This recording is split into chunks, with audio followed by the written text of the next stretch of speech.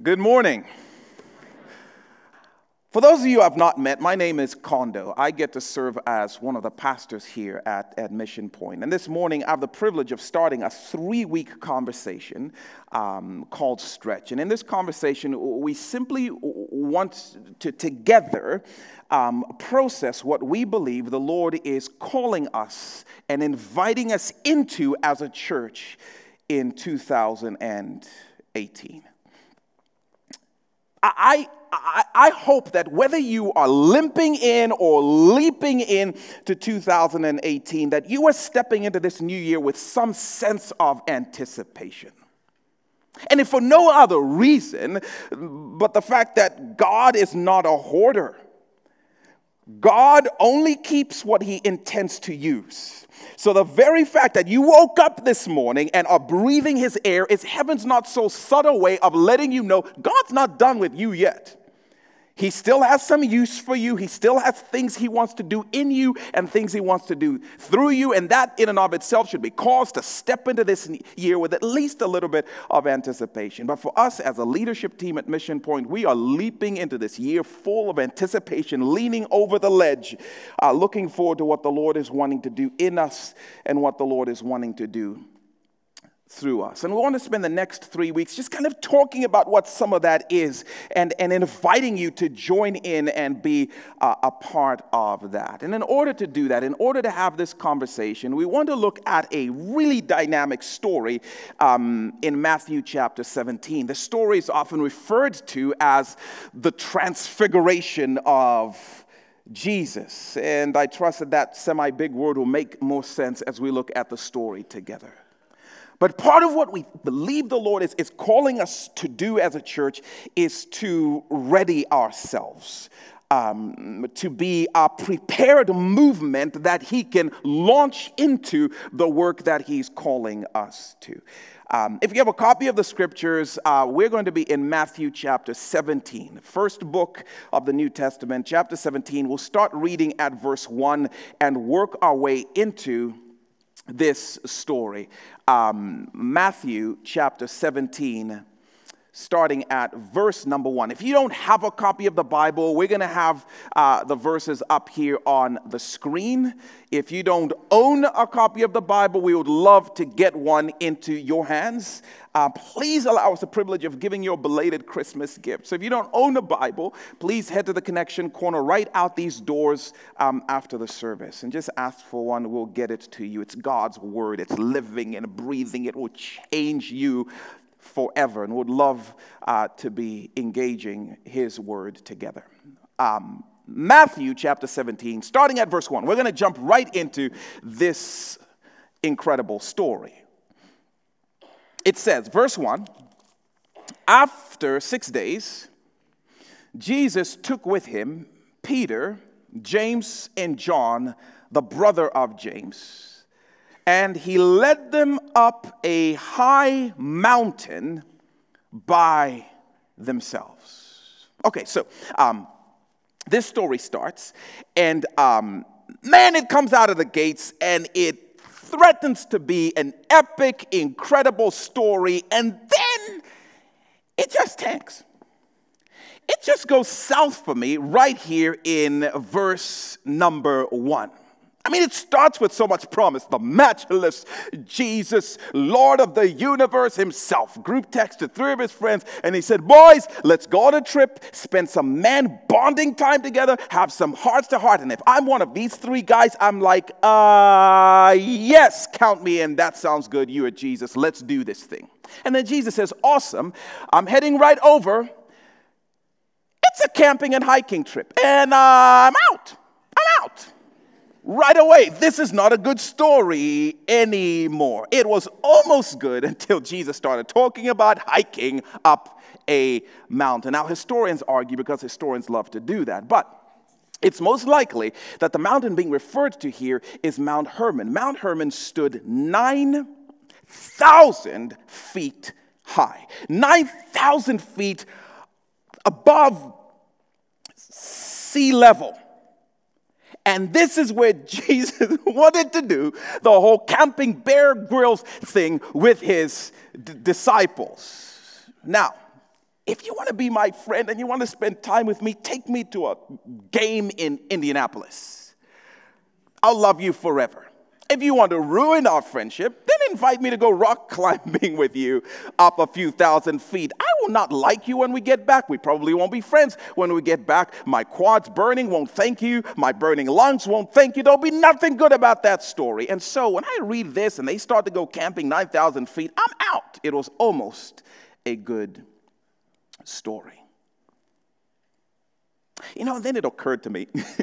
I, I, wonder if, if this isn't maybe a little part of my problem. And I started to wonder, I wonder if this isn't maybe even a little part of our problem um, in, in, in some sense or another. I wonder if this isn't, to some degree or another, why we often miss out on the glorious adventures that Jesus himself is calling us into.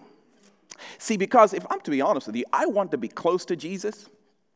Um, I want to be tight with Jesus. I want to spend some time with Jesus. I want Jesus to invite me into this glorious adventure, and I want Jesus to reveal himself to me, and I want him to show me things that he has in, in store for me, and I want it to be awesome and I want to see the majestic views he has for me. I want those mountain experiences with Jesus uh, Christ himself. I just want them to be at Starbucks. And I know I'm not the only one, if we're to be honest here for a while. Jesus, show me all you have for me and take me to these epic and majestic places, but please don't require me to have to do any work or for there to be any burn in the process. I want to see majestic views from sea level. And as, as Matthew starts telling us this story, it's almost as if there's the hint of what we know as we study the rest of the scriptures. If you're going to be close to Jesus, and if you're going to get in on all that he has for you, then many times it's not going to be a walk in the park.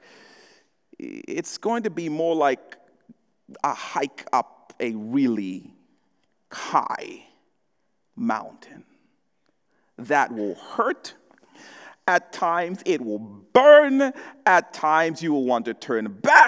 At times it will make no sense.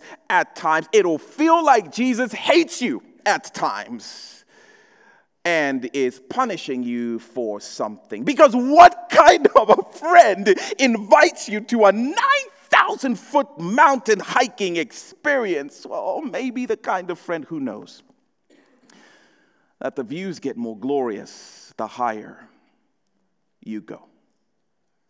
Verse 2, it says, There on this mountain, he, Jesus, was transfigured before them. His face shone like the sun, and his clothes became as white as light. Just then, there appeared before them Moses and Elijah talking to Jesus. I can imagine Peter like, this was totally worth it, you guys. I told you, I told you this was so worth it. When they reached like 9,203 feet to be exact, they experienced the single most heart epic moment they ever had to their life, in their life to that point. Jesus kind of peels back his earthly veil for a minute. He, he pulls back his human disguise and he allows his glory to break through for a moment. And these guys are instantly flooded with joy unimaginable because another thing we know when we study the scriptures is that the soul was intended to thrive in its natural habitat, which is the glory of God itself. And now here they are basking in this moment where the glory of Jesus peeks through his human veil. Their hearts are absolutely burning. Now, to be clear, these guys are just now reaching for words to describe what they saw because they'd never seen anything like this. So they're just doing the best they can to try and describe what they can see and what they're experiencing. And that's how it often is with Jesus. He will do things and show you things, and you're just going to be reaching for words, just winging it, making things up. Hey, it was, it was kind of like he looked like the sun, and his, his clothes looked like all Cloroxy and it's super bleached and, and very white. We don't know what to tell you. It was just unbelievable. And then while they're still trying to absorb this whole Jesus pulling back the mask thing, uh, it says that out of nowhere, Moses and Elijah join Jesus and they're chopping it up on the mountain. Moses and Elijah are dead.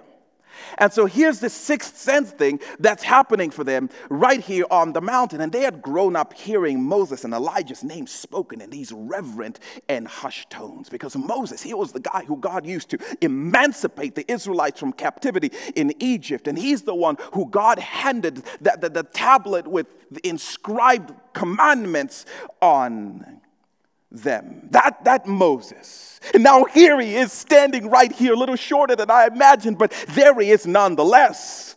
And Elijah, he's there too. He's the guy who we heard he never even died. He just got shuttled. He just got, you know, chauffeured up to heaven in a chariot of fire.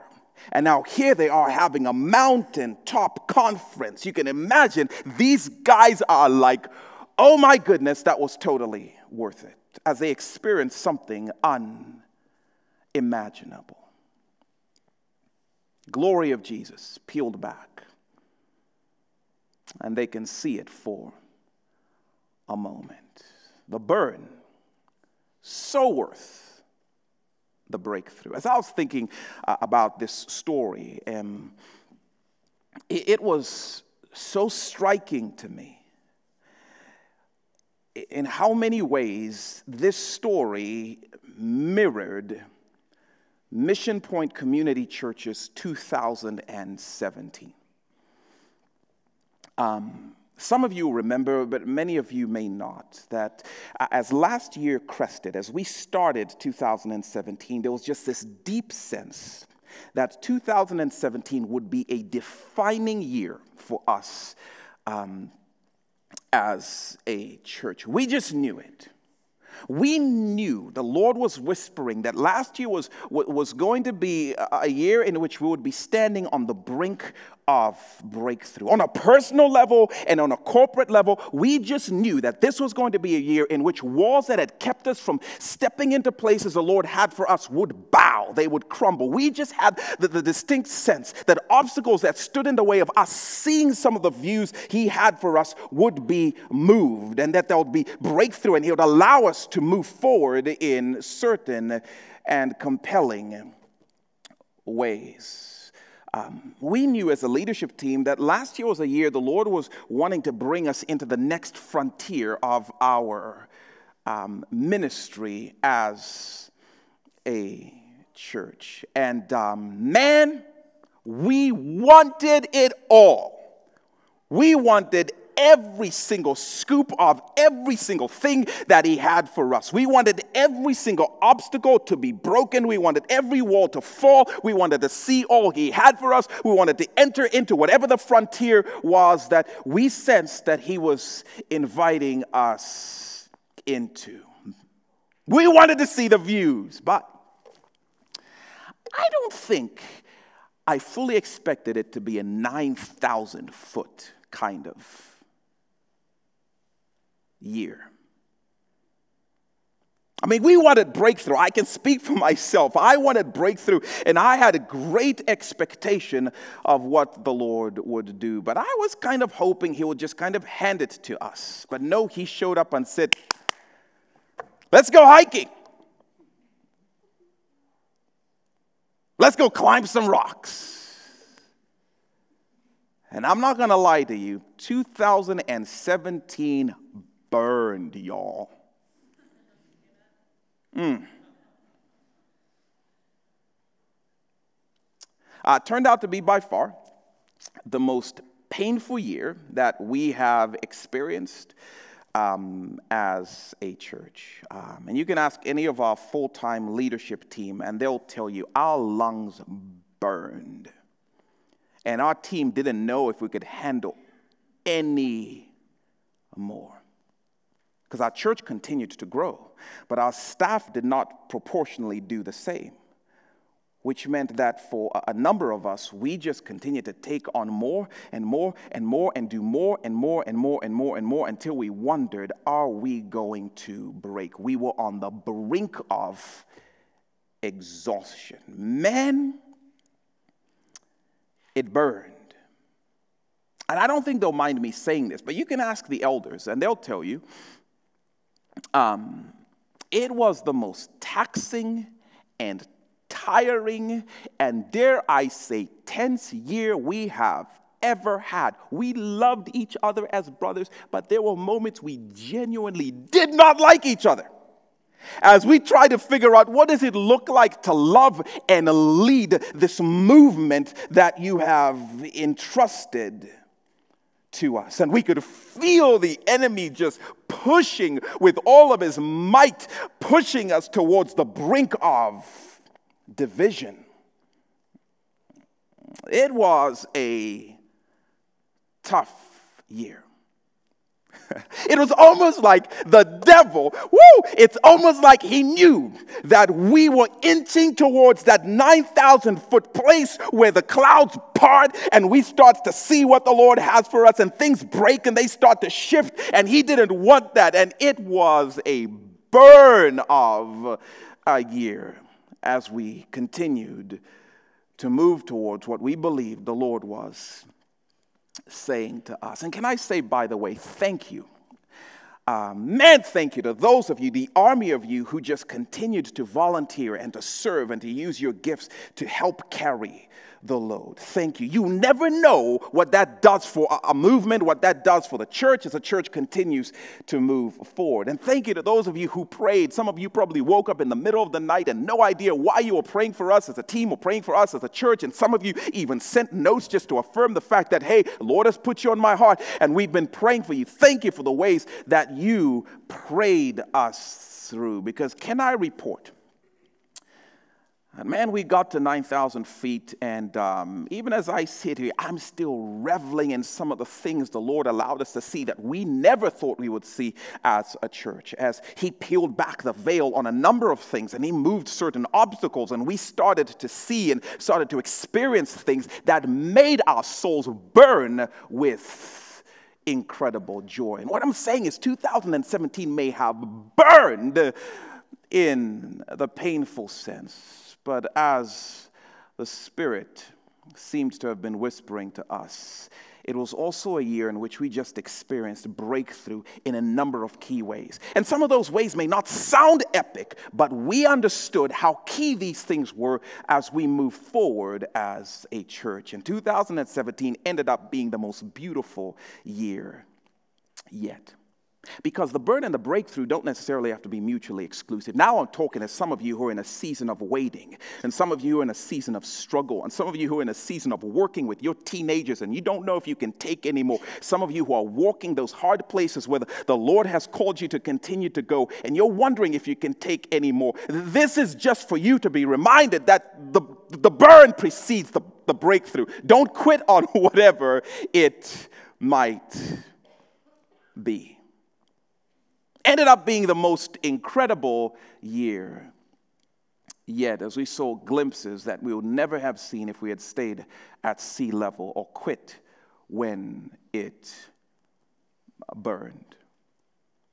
Crazy thing. Would like remember the love up that we did at some point last year, um, in which, no joke, over 200 of you, of your own free accord, we didn't make you do it of your own free accord, agreed to this. You agreed to go out of our comfort zone into our community and canvass neighborhoods and go door to door, knocking on strangers' doors and saying, Hey, can we just pray the peace of God for you? Do you remember that? Do you remember, by the way, how your quads burned as you walked up to those doors? Like, God, can we please have impact on our community without running the risk of coming across like we're crazy people? And yet he continued to lead us, and many of you stepped into those spaces. And I wish that we had time to tell you the stories we've heard of the way things changed. We would even just be on social media randomly and hearing what shifted in the lives and the homes of people in our community because your crazy people took the hike and stepped in, and the Lord peeled back our self consciousness and then started to peel back the darkness in our community. And we got to experience that. One of my favorite moments last year was um, our orphan Sunday as the Lord just peeled back our hearts, and over 400 of you said, We refuse to do nothing while 140 million orphans in our world struggle. So we may not be able to do everything, but we can all do something. And 400 plus of you said, We're going to do our something. Whether it's praying or raking or giving money or, or being a support system, we are going to do something. And the glory of God started to peer through, and the enemy was super frustrated, and we were just enjoying the view as the Lord continued to work in our midst. There was one time when you all heard about people you had never heard about who were in Texas and they were struggling because a hurricane came through, and one weekend you just gave them $10,000. You don't know these people. As the Lord just broke open your hearts with generosity and pieces of His glory poured through, and what an incredible view. And you may not realize the significance, but uh, to, to heaven, the significance of those moments. And last year, the Lord spoke to me and spoke to us as a leadership team more vividly than He had in years past. Um, even just a number of times we'll be sitting in an elder meeting and an elder be like, the Lord just, you know, laid on my heart this thing. And then the Lord spoke this thing. And he was just super loud. He was very chatty last year. And man, what an amazing thing for him to peel back the veil on silence and start to speak and allow us to hear what he's thinking and what he's feeling and what he's saying about this house. Pretty awesome. Man, there was, there was a guy who told me that, hey, one Sunday we're talking about the Holy Spirit or something like that. And at the end of the service, you know, there was a moment where some of the elders were up here and they were, they were praying for people. And this guy went to one of the elders and said, Hey, would you pray? And the elder laid a hand on him. And he said, Right when the elder laid a hand on me, I felt something pop in my body. And I knew Jesus had peeled back the veil on nature and had healed me of whatever it was that was ailing. I'm like, For real? I don't remember stuff like that happening before as the Lord started to shift things and break through some things, and parents are talking about, I laid my hand on my kid, and whatever it was that was oppressing that child just left, and my baby slept in heavenly peace. I'm like, in this church, as we continued to move and as we continued to hike and even in some practical ways that will mean probably more to us than it might mean to you, but our staff, our overworked staff, started to experience a little bit of relief as people stepped in and, you know, were able to add a couple of pieces that brought an immense amount of relief and moved the church forward in ways that I don't think we'll fully appreciate for a little while. But the Lord continued to show himself. We as a church continued to grow in a time, by the way, in the United States where the church is on a severe and quick downward spiral, the Lord just continued to grow us. Um, towards the end of the year, we even got to experience a shift in our organizational structure. Now, that might not sound like good preaching to you, but that is something so significant because our church had reached a place where there was a ceiling involved. And the Lord did something that allowed us to break through the ceiling with a change of structure that allows us now to move into the next frontier. I thought the next frontier would look a certain way, but that's not one of the things I pictured. And so now we are literally poised to just move forward in ways we were never able to move forward in years past. 2017 was the most painful year. Our ministry lungs burned but as we continued to hike by faith, we saw breakthrough and we experienced what we believed He had promised. And oh, the views, church. Oh, the views. And by the way, if you're new at a mission point, welcome. And can I just tell you, you are coming in at 9,000 feet. You are coming in at a great time. And we're so glad. I hope you don't mind the views. Uh, they're pretty amazing. And we are just getting started and looking forward to what the Lord will continue to do. Okay, back to the story. So, These guys, um, they're experiencing um, this breakthrough that came after the burn. Um, the views are like pow, and they're just absolutely loving life. And then verse 6, uh, Peter affirms that. He said, Lord, it is good for us to be here. So good. If you wish, I will put up three shelters one for you, one for Moses, and one for Elijah. You can see Peter's like the best day ever, Lord. And then right there on that mountaintop, the story takes a tragic turn and danger breaks into that breakthrough moment, that breakthrough experience on the mountain. Did you see it? Man, it came so quick and it was so subtle. Peter, he says, It's so good for us to be here. Let's build some shelters. Uh oh.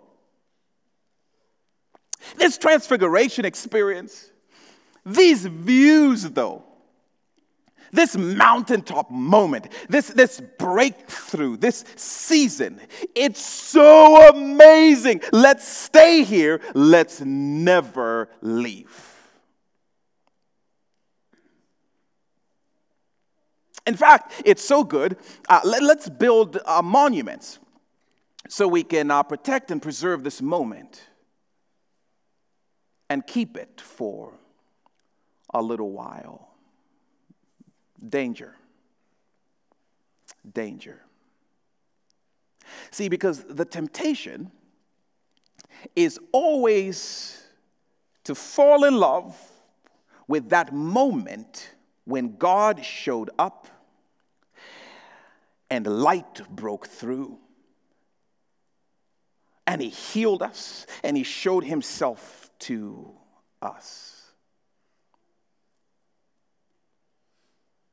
Last year was an awesome moment in the story of Mission Point. And I'm telling you, if we are not careful, our temptation will be to settle and to stay there. Someone got healed last year. Let's make a video and then we can just play that video over and over and over again. Remember the 35 people who got baptized? Let's try and recreate all of the dynamics of that service so that we can rinse and repeat. Let's just stay here. Remember how the church was growing? Hey, let's build shelters so we can protect and preserve those sacred moments and we can stay here. Because if we start preaching about things like adultery, if we start preaching about things like racism, then, you know, people may not want to hear it and people might leave. So, hey, let's build a shelter and let's keep this moment. Let's preserve, let's stay. What Peter starts to suggest on that mountaintop is this is so good. Why would we ever want to leave? Why would we ever want to change? Let's settle. The problem is that the church is not a moment deserving of a monument. The church is a movement in desperate need of a mover. What tends to happen is the Lord shows up and he does some incredible things in the church, and the church says, How can we preserve that and keep doing the same thing over and over again? Let's build a monument. But the problem is when you try to monumentalize a movement, the movement begins to die. And that's why many churches will wake up and wonder what happened and why isn't the Spirit moving? It's not that the Spirit is not moving, it's that the Spirit has moved on. But you loved that moment so much and you determined we're going to stay here. And before you know it, stay becomes settle, and settle becomes stagnant, and stagnant becomes stuck.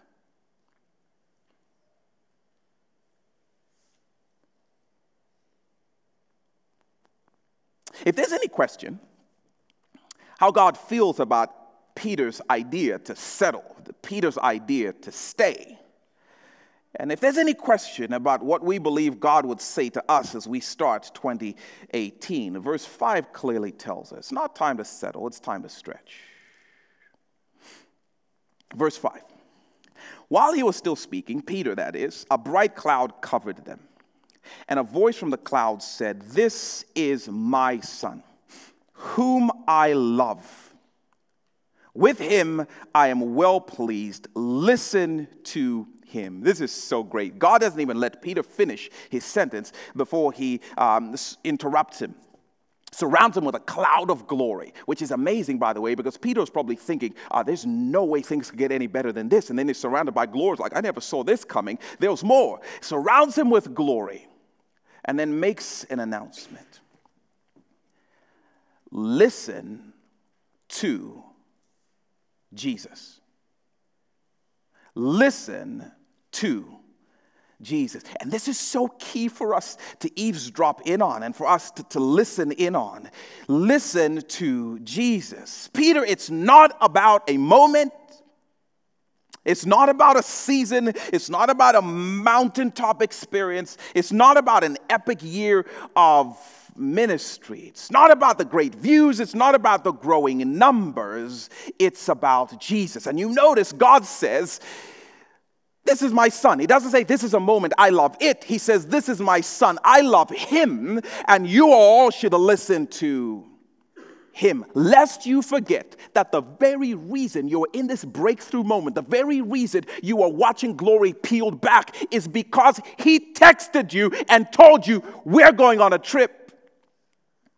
The reason you're experiencing any of it was because you were listening to Him in the first place. And when you start to trade listening to the one who leads us into these adventures for the adventures that He leads us into, and you try and build monuments around the adventure, the movement begins to die. He says, Listen to Jesus. That's, by the way, in case anyone was wondering why Moses and Elijah show up on this mountaintop. This is so great. Uh, look down at verse 7. While Peter and the, and the, crew are still freaking out about the glory and, and, and, all of the cloud and all of that stuff, um, Jesus comes and touches them. Get up, he said. Don't be afraid. Verse 8 When they looked up, they saw no one except Jesus. Man, we could have a whole morning and just talk about this scene because this is pretty awesome. This is pretty epic. God is making a statement. See, because Moses, Moses represented the law. Moses represented the Ten Commandments. Moses was a representative of the written word of God. Elijah, he represented the prophets. Elijah represented the spoken word of God, an era in which God would uniquely speak to his people through these men. And it says, uh, the, the three guys looked up, and um, Elijah was gone, Moses was gone, and Jesus was standing by himself. Um, the written word, it's gone. The spoken word, it's gone. And standing all alone on that mountaintop is the living word, Jesus. This is God just saying, listen, I wrote my word, but my written word exists to speak about the living word, Jesus. And yeah, I spoke to you and I still speak to you, but everything I speak about is ultimately speaking about Jesus. It's about Him. Listen to Him, Peter. It's not about this experience, it's not about that experience, it's not about your baptisms, it's not about your love ops, it's not about your structure, it's not about your staff, it's not about the burn, it's not about the hike, it is ultimately about Jesus. And if the church continues to listen to him, I will continue to carry you into the places that I've intended for you to go. And may I make a declaration here on January the 14th, 2018, that as long as Mission Point is a church, it will always be about loving and listening to and following the lead of Jesus. It is all about Him.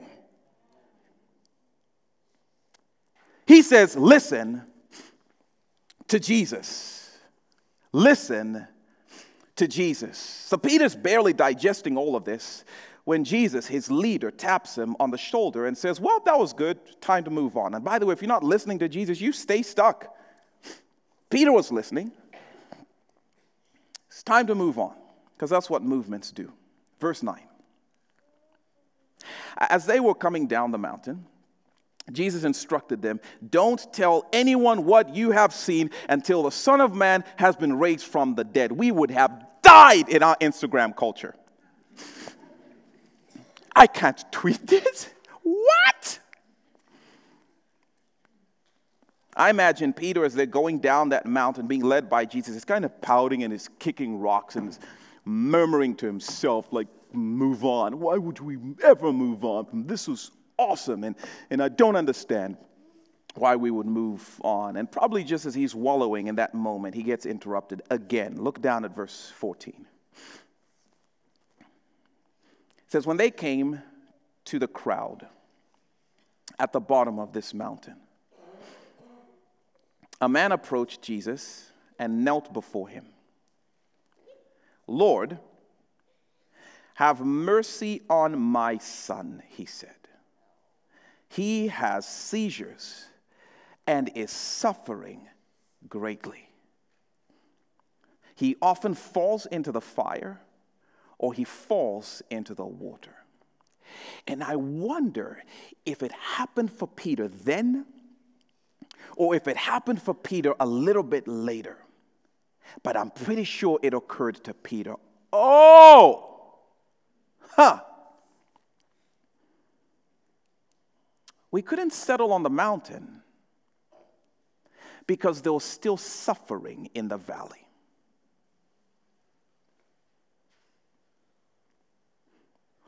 We couldn't stay in that epic experience because there's still hurt in the world.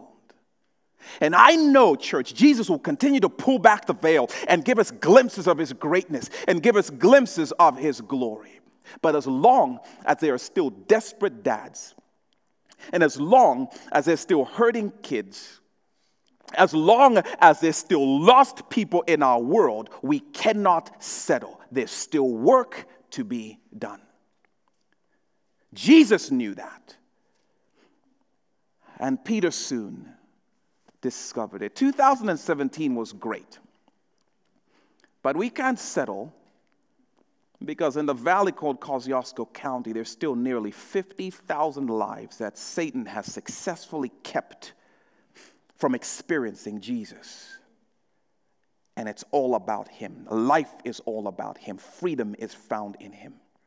And there are tens of thousands of people in our own county, in the valley called this county, that desperately need people led by Jesus to go into those dark places. We can't settle because we know that in the valley called our world, there are still 140 million orphans in desperate need of hope and in desperate need of home. We can't settle yet because we know there'll be a day, don't get me wrong, where we will settle and all we will revel in will be glory. But we are not there yet. There is still work to be done.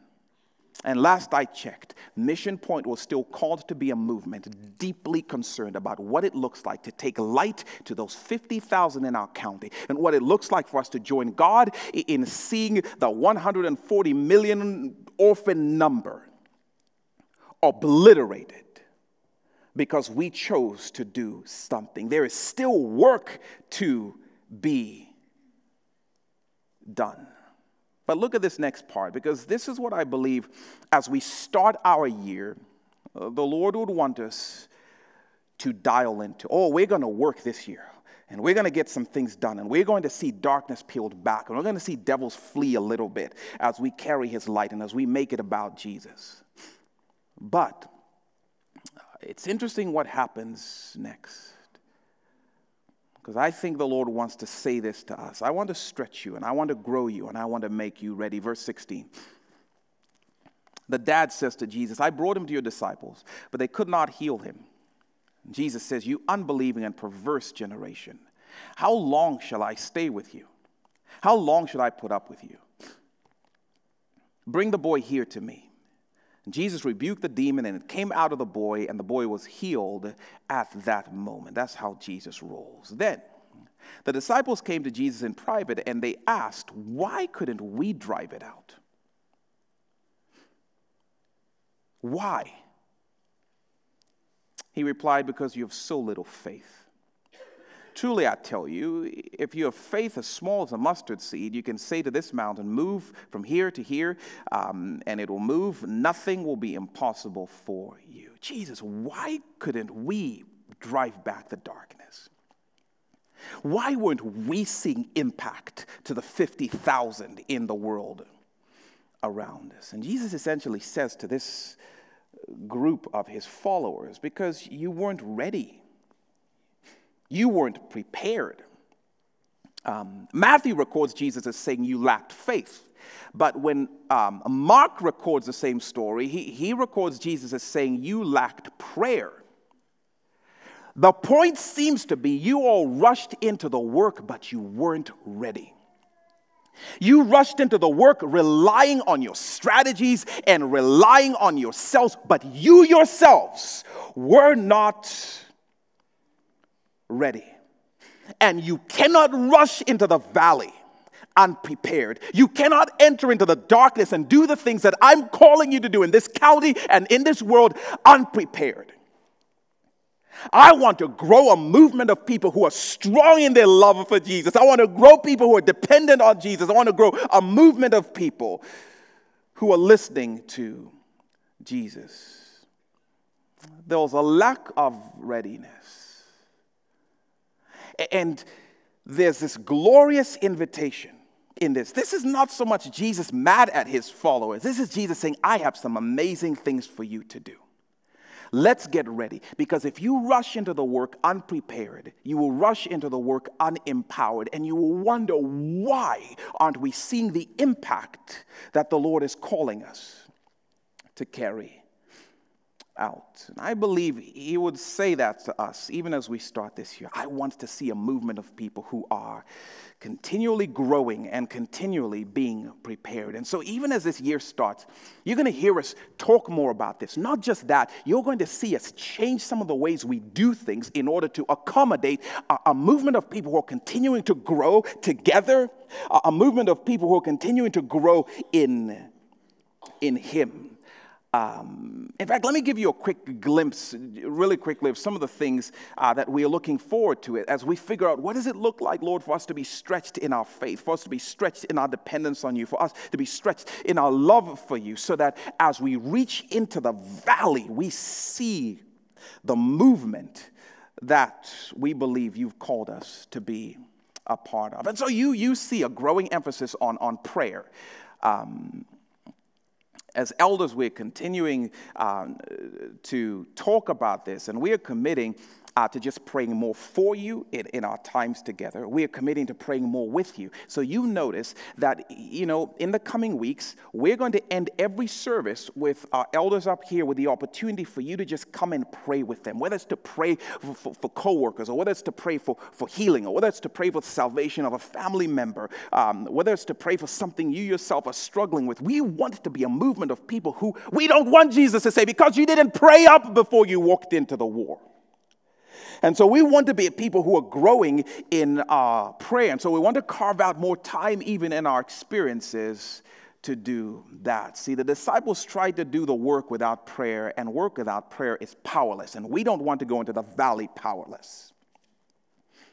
And so you see more of that. You, you, you see us emphasizing more care, which is something we're really excited um, about. Um, our elders, again, are definitely committing to, to more intentionally caring for you, our church family, and figuring out what that looks like. Uh, we are so committed to figuring out what it looks like to invite us to care well for each other. Because here's what we understand if we're not caring well for each other as a family, and yet we want to tell Jesus, we want to go into the valley and care for all of those other people, Jesus will say, You weren't ready. You are missing each other.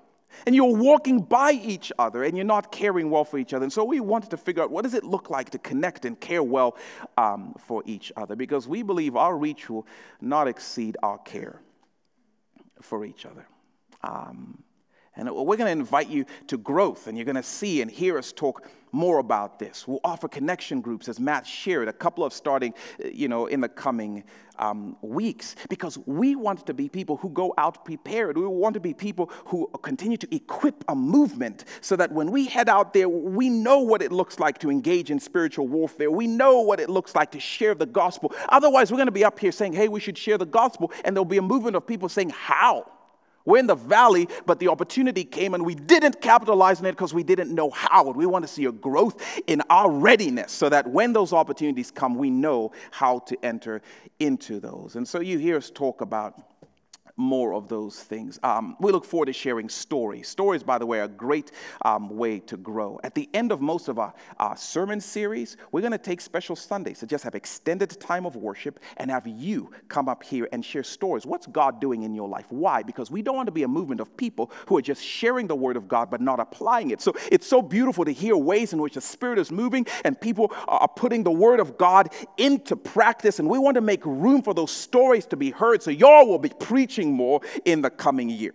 Um, and that has such a powerful way of continuing to um, equip and encourage. And um, our staff, you're going to see our staff continue to grow so that we can be better armed to equip, so we can be better armed to care, so we can be better armed to come alongside this movement to help ready this movement for the work we know the Lord is sending us into, even in this year. If our family is healthy and our family is growing in Jesus, I believe the Lord will stretch our reach and He'll multiply the impact of our work. And so we are so excited about 2018, and we look forward to sharing more of what that means for you.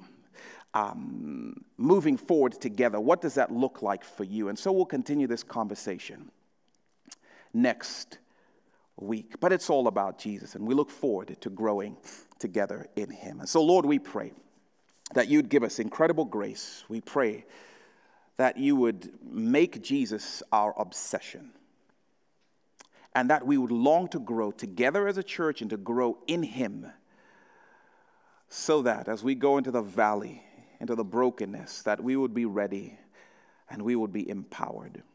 It's in Jesus' name we pray. Amen.